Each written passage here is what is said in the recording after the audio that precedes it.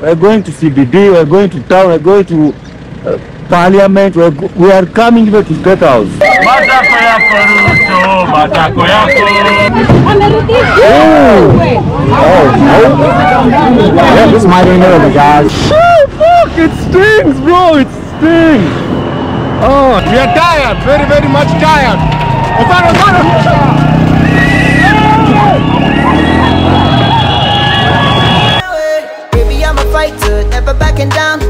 I'm a soldier, standing my ground. So if you're gonna fight me for my heart, are you gonna get these battle scars? What's going on, guys? It's your man Jackson Cooper with my man Jeff here, and we are live from Nairobi, Kenya. Now, if you see my last video, you know that me and Jeff went to the protest here in Nairobi. You guys had like a lot to say, you know what I mean? And we want to address some of those things. So, Jeff, pretty much just let them know how was your experience with the whole protest? The protest was quite eye-opening. Hmm. I got to experience the, I'd say first half of it with Jackson before we were separated hmm. by the tear gas and all the running. Hmm. It was pretty hard locating this guy, honestly. uh, it was eye-opening to what the government is doing to us, and I saw it, and he saw it too. And yeah, it was quite quite a new experience too, having tear gas all up in your face, in your eyes as well. It's crazy. That was crazy. All right, so we started off. You like came over here and you had the uh, you had the flag and the whistle. Now I saw some comments saying I'm gonna need more than a flag and a whistle to go to a protest. So, so like, what was your thought process behind giving me the, the flag and the whistle? Uh, I just wanted you to feel more Kenyan and more involved in this. Because who knows, maybe I might be like, what, 2% Kenyan? maybe? Super cool. yeah. So I wanted you to really be part of it and have your mind and heart in it too. Mm. And giving your Kenyan flag would only do that. Yes, Yeah. And the whistle too. the whistle. Yeah. Yeah, blow the whistle. So okay, so like now we're going to the park that we're walking. Now you told me that I was asking you questions, and you were telling me about the guy Rex that passed away. Rest in peace to him. But a lot of people died on the day that we went. So, what was your thought process as we were going to this protest? As I was going through the process. I didn't want to. I didn't want to think about the case scenario of me dying. I didn't want to think about that. Did I know that people might die that day? I did. I Mm. did. But I just wasn't expecting it in the way that it actually happened. Right. Because the police had a sniper on a rooftop, Mm-hmm. and that was very unconstitutional and very dangerous Yeah. to fire live bullets from a sniper to innocent, harmless protesters. Mm-hmm. They weren't even causing no violence or nothing. So out of the blue, uh, your brains just get shot out. You can imagine the people who are standing next to them. That was insane. That was insane. So a couple people died. Eight people died during the protest. Mm. But also, on on that news, I'm receiving information that the more people died mm. after that at some place called Githurai. Heard to get the ride. Yeah, a lot of people died. It was like a whole massacre. But did the news cover anything about that? No. Was it anywhere on our local uh, news broadcasting channels? No. But it was all over Twitter though. Yeah. Wow. So you know, rest in peace to those people, man. Um, you know, being in that, like, it makes you look at stuff a little differently for me. Like, it's more real because you see, like, like you get like the tear gas and you get um, things like that. So, because I was seeing that red gas and that white gas, and I'm like, I've like never been tear gas. So, like, what was what was your thoughts when you were down You know, it was my second protest going to.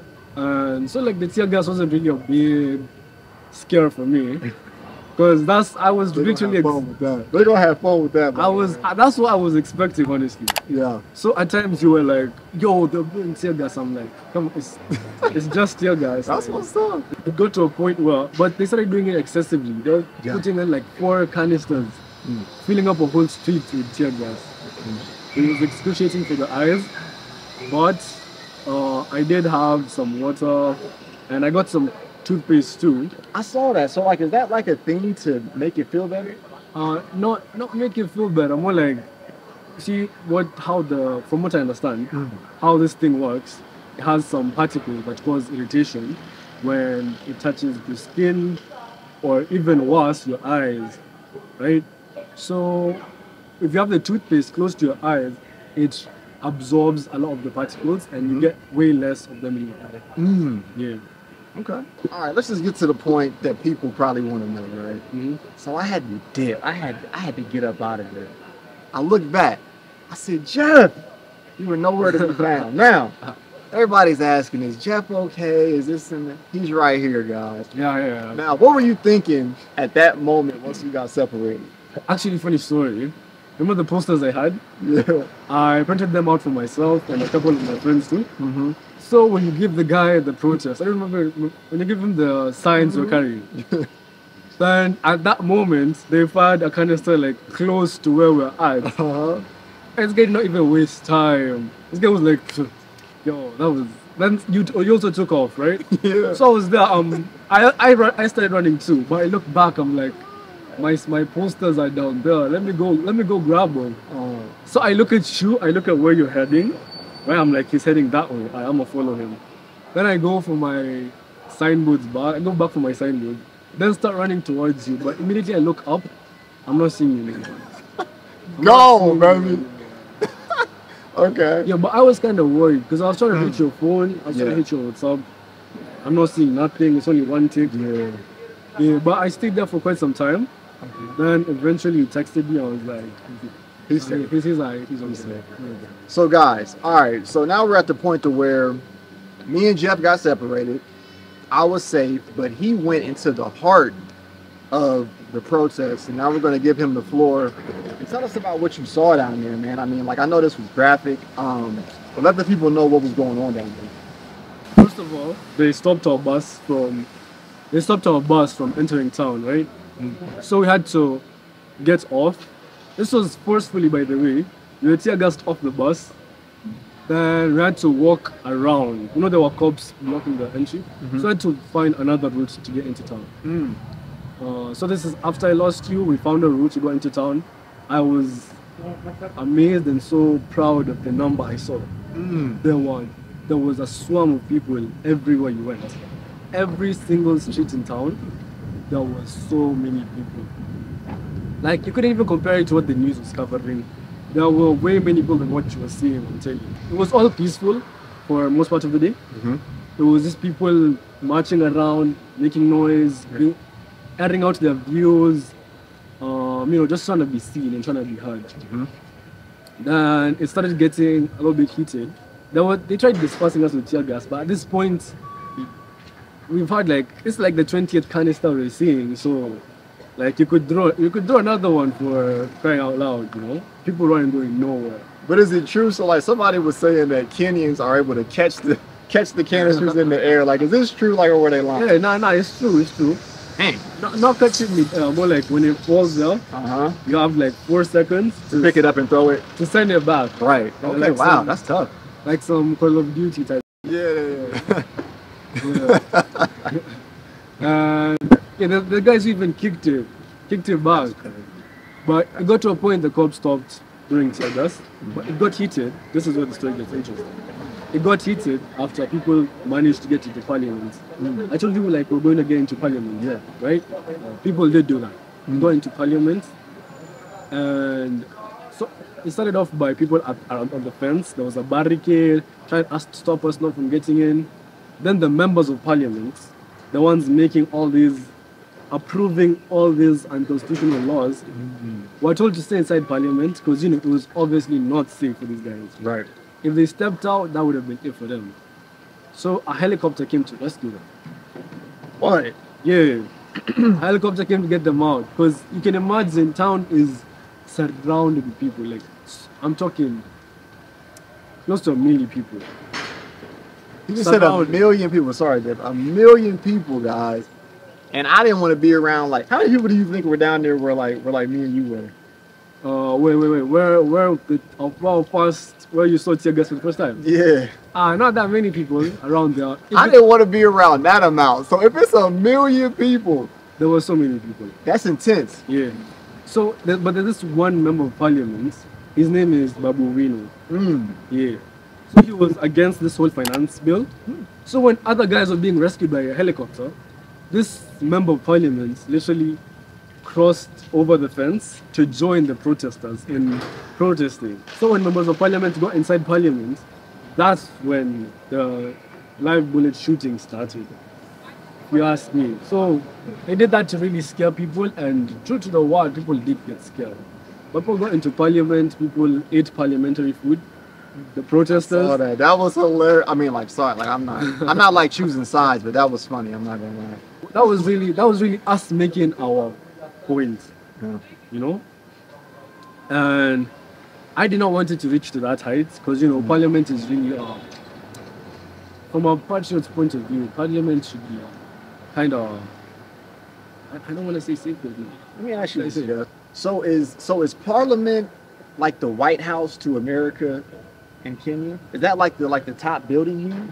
uh i'd say the top building is state house Ah, yeah so it's not it's not literally the white house but it's it's something close to the white house You Important. yeah it's, it's a really important Okay, building. so people really getting in there uh, on non-official business, stealing the food there and destroying flags that was there. That was it. I saw that, bro. I didn't want it to get to that point, honestly. And do I blame the people? No. Do I blame the president? Yeah. Mm. Yeah. So people, people, when I heard people got shot, Mhm.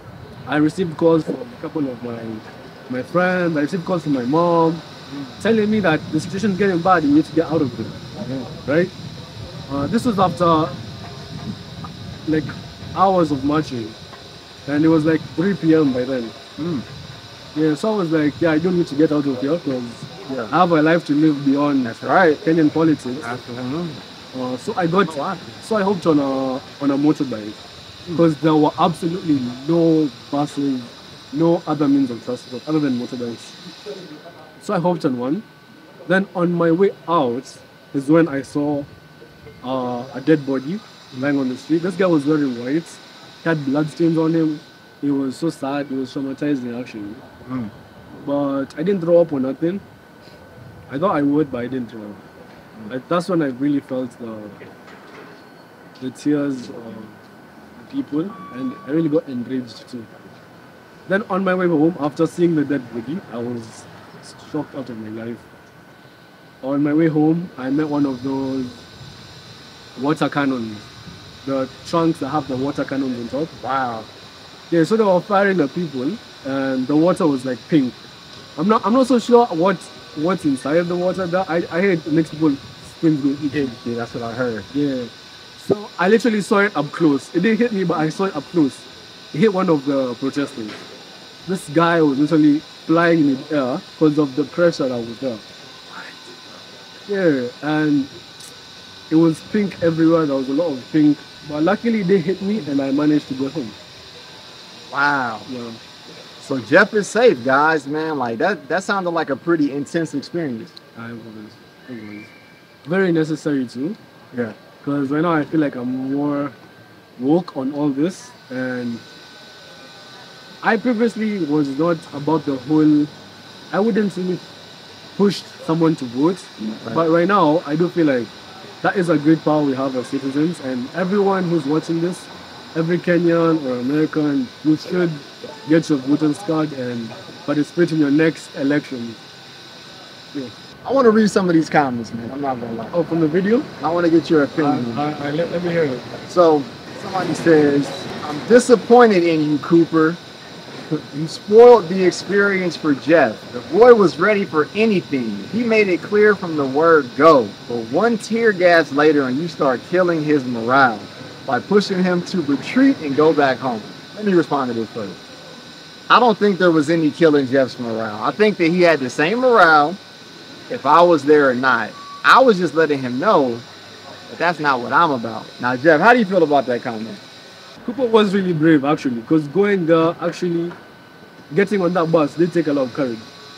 But we should have progressed a little bit, if you ask me. Okay. Yeah, we should have progressed a little bit. Okay. Because even the tear gas thing, like it stings, yeah, but after like a minute and a half, probably two minutes, Mm. three minutes after, you were the effects were less. You know? So we should have pushed all the way through together. Okay. Yeah. Okay. Yeah, so he, he might have a point, but don't take it light. Going down took a lot of courage. Mm. So yeah, congratulations too. But next Yes, time, You got to go deeper. huh? next Pause. time we gotta go deeper. Okay. So somebody else says, you wanted to experience the protests, so please respect it and stop complaining, bro. Where in America are you from? Well, I'm from Columbus, Ohio. And I don't think I was complaining. I think I was just stating how I was feeling. And I was letting Jeff know if anything jumps off, I'm dipping. it's that simple. So Jeff, how do you feel about that comment? Ah, nah, it was very validated how you're acting. All this for the first time. Right. and seeing those officers in uniforms with clubs they were holding and tear gas Mm-hmm. everywhere, it was right for you to be scared. Listen, guys, I wasn't like, oh my God, I'm scared. Listen, you got to be smart and you got to be on point. If I could have been out there, that could have been me getting shot in the head. And then y'all would have been saying, oh, you were stupid for going. And so, come on now. Let's think. So, this is the easy one right here. Mhm. Where's Jeff? Uh, here I am. Uh, I'm safe. I'm sound. No injuries whatsoever. Somebody else says, you left your bro. WTF. I didn't leave him. Like, when you're in like a situation like that, guys, you're going to get separated. And like Jeff said, we made sure that we got in contact. He was safe, I was safe. So that's where that ended. So what about you, Jeff? Nah, he didn't actually leave me. It was people were running left, right, and center, and you know, you it's our fight or flight, and this case was flight. It was flight, especially on him, man. He had some quick feet on him. Big up Cooper for participating. We're proud of you for being an honorary Kenyan. Power to the people. Yeah, I, I mean, guys, I wasn't there to protest. I was there to more so, um, you know, showcase it from a Kenyan's point of view. You know, uh, thanks to Jeff, he um, invited me. That was very uh, gracious of him. But I wasn't there to protest. I was just showing it through my eyes as an American. And um, I am happy that me and him weren't hurt, but it is unfortunate that people were hurt, and what's going on is very unfortunate too. So, um, what are your thoughts about that comment, Jeff? Personally, I was there to protest. Mm. And I went there with one goal and one goal only. To air out my views and how I feel about the whole political situation. And you would argue it out that I'm only 19 and he's not validated for acting that way. He doesn't, he doesn't even pay tax, blah, blah, blah. But really, it's I don't want it to affect me when I get to a certain point of my life, you know. It's mm. better deal with the situation right now at bay. Plus, I'm energetic. Had the had the free time that day, and I was there to protest, and nothing was holding me back. Nothing was holding me. back. It's the young lion right there. Nothing was holding you back. Nothing was holding me back. I can respect that in you. I can respect that. Now, guys, if you haven't seen this video, check this video out. I think personally, to be honest, this is the best protest video that you're to see as far as like interaction with the people and just crisp and clean content. So check this video out, guys. Someone says, this young man is a true representation of the current generation, not only in Kenya, but Africa. The era of corruption with impunity and division politics is way over. The youth are taking over to define their destiny. See, the thing is, um, there has always been a lot of tribal base in the past years, and it was a big cause of conflict and war and violence. This is in like 2007, 2017, like back in the day, when most of us didn't have the mental capacity to grasp what's going on. But with this new young generation, I feel like I would, I would, I don't even care if you're what tribe you are. You might be Kikuyu, might be Embu, you might be, I don't know, you, wh- whatever tribe you are. That doesn't really matter. And it doesn't speak of who you are. So me to discriminate someone off of what tribe they are, I'd honestly uh, care less about your tribe. It's more like who you are. So a lot of young people carry that charisma in them, and it's because of that uniting us is us being united for a similar cause is so easy. And I feel like if we keep that unity alive, and we, you know, just stay positive, think about country positively. This is bad, but doesn't mean that it's gonna slow us down as a country for any longer and actually has. So the new generation is way more cohesive than the old ones. Also on the politics part, like in the olden days, like two presidents back, there was this president called Moi. Uh, the late Honorable Moi, pardon my French. So this guy was uh, an inhuman president, let me say that. Really? Yeah, from the stories I heard, I didn't get to experience nothing from his reign, but from the stories I heard, this guy was torturing people who were against his regime. You couldn't even mention his name, unless you're talking something positive about the president. So people really lived in fear. No one was talking about it, but because no one was had the guts to actually talk about it. And you know that time the internet wasn't as uh, developed as it is right now. Right. So someone could just disappear. He could just make someone disappear. Like, have you ever seen like one of those, uh, the dictator? Have you seen the dictator? It's part where if the president wants you gone, he just like he talks to you, then maybe you say something that irritates me, Mm-hmm. and the president just looks at his guy. He's like, Oh, yeah, get him out of here. Yeah, yeah. yeah, yeah, yeah. No, no, like execute this guy. Right. Yo, so like that's the type of environment you were in. So Mm. you couldn't talk trash about this. You couldn't criticize him in any type of way. So our parents, having lived under that fear, it becomes easier oppressing such people. Mm. But like with this new blood, nah, we're not getting oppressed or nothing. Cause I'll show the world if you oppress me. You know? Mm. Yeah, and I'll speak up on that. So the era of oppression in politics has, not has, will come to an end. Powerful. And he said Moi. That just made me think. So like that's Moi Avenue's after him, right? Yeah, more avenues. Interesting. Okay, guys. So listen, man, travel, man, because I just thought I'm like, okay, like I've seen that. Now, I want to bring in a special guest, guys. It's, it's, it's going to be like a twin of Jeff, and then like we're going to see why this person was not at the protest. Let's get into it. Appreciate you, Jeff, man. Thank you, man. Welcome. You got any like socials you want to leave for the ladies, man? Something. Yeah, I do actually. Uh-oh. I do actually. My Tinder name is Whoa! Okay, guys. So here we have Miss Wangeshi. Now, people were somebody left a comment Gacy said, "I hope Wangeshi's safe." I don't know what that had to do with anything in the video, but she's safe right here. So, Wangeshi, I'm, I'm gonna just leave you with like a simple question. Yeah. Why did you not come to the protest? Well, first of all, um, there are more ways to protest other than being physically there. Right. So I did protest in, you know, social media wise, posting the, there's a hashtag that we made sure was viral. So posting the hashtag reject finance bill 2024. So I might not have been there physically, but I made sure that there was a social media presence. And also I'm a woman, like Let's be real, Wangeshi.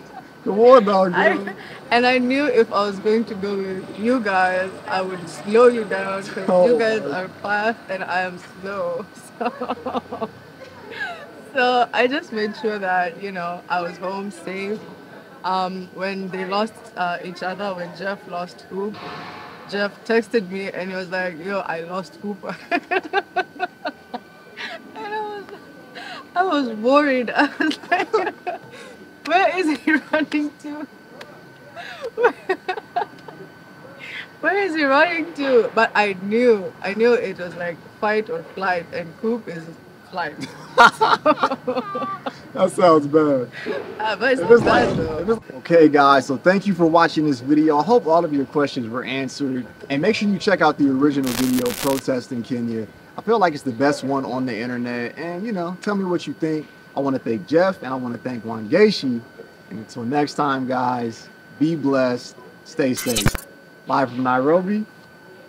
Peace. Hey. I'm not trying to hurt you, but I will if I have to. I'ma tell you what I do. Run away, run away.